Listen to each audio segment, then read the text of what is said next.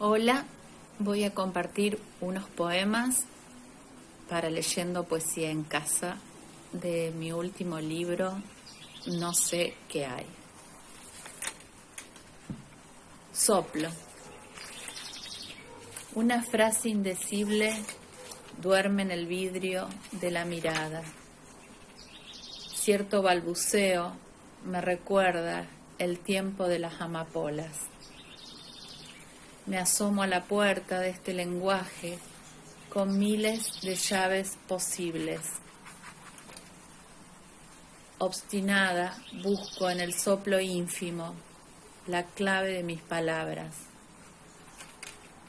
Una transmutación sensible se desliza por mis labios.